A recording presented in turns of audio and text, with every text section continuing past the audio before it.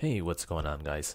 In this video, I will be walking you through my workflow on how I get started with a completely blank slate uh, with working with WordPress.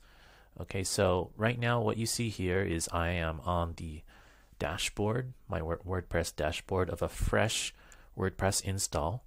If we go to visit site and we look at the home page, you can see that it's populated with uh, sample content, and there's just a whole, just a bunch of things going like going on here. We have the widgets and some sample blog post, and then some sample copy here.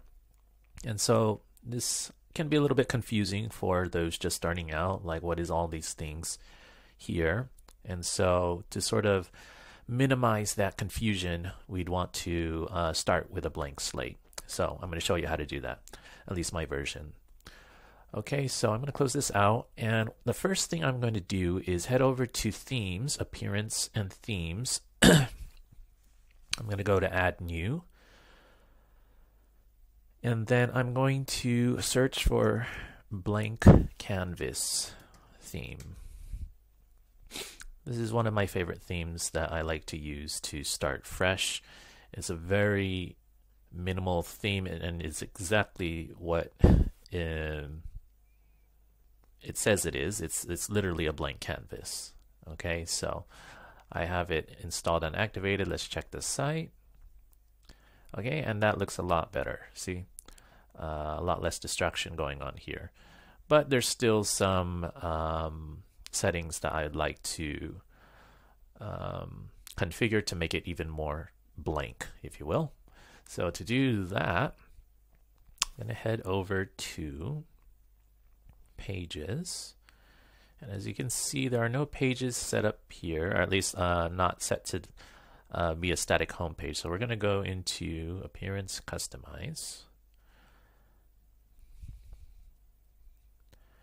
And then under Home Page Settings, we're going to set the, your home page displays option to a static page and uh, we don't have any pages set up but one cool little hack here is that there is an option to quickly uh, add pages to your site from this option here. And it's what it's what it will do is create a blank page. All you have to do is simply add in the title of the page. So we don't have a home page so we'll add home.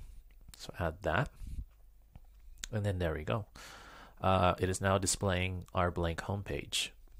For the post page typically that's uh, we'll want to have a blog blog page. So we're going to add a new page, label it blog, add that in, and then the blog page is this one here. So um, let's go ahead to menus, create new menu. We're going to label the menu primary, assign it the primary navigation location and then we will add in home and then blog for that. Okay publish. Okay and what you see here is that it's not displaying and the reason for that is because with this theme there are options to disable uh, the menu uh, the widgets and uh, page titles comments. So over here we'll want to check enable site header and top menu and there it is Okay, but let's disable that for now. Keep this as minimal as possible. And then uh, ensure that the uh, homepage settings is set to home. And then uh, exit out of here. Okay, and then if we refresh this, you can see that all that's left is this little uh, footer here. We can get rid of that with some custom CSS, but for now, um, we're good to go with our blank slate. All right. And that's how I start with a blank slate.